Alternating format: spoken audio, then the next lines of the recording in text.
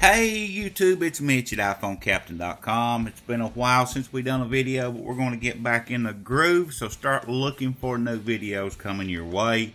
The first one I'm going to share with you today is called Mirmir. This is a new Cydia tweak in the BigBoss repo for $3.99, and it is an awesome tweak, guys. If you enjoy multitasking on your iOS device, this is going to put multitasking in the palm of your hand much, much easier and better. So let me give you a little bit of a run through of what it is I'm going it will do.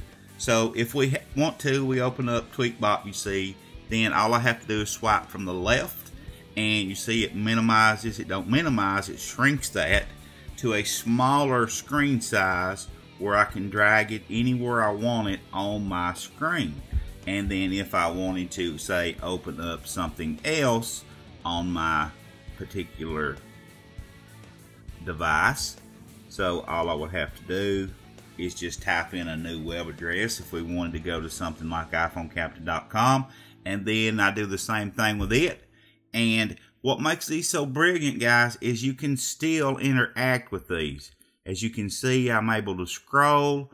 Uh, I can even open up uh, any new post I may want to read or anything like that. As you can see, I just chose this post here and it, and it opened it up for me. I could read that. And then if I wanted to go back over here to uh, TweakBot, then all I would have to do is just come over here and you can see I can still scroll and it will also allow you to interact with these apps on here. But as you can see, on the iPhone, it is just a little bit finicky, but it does work pretty good uh, considering. But as you can see, you can also double tap the status bar here and the, it gets this little pop up.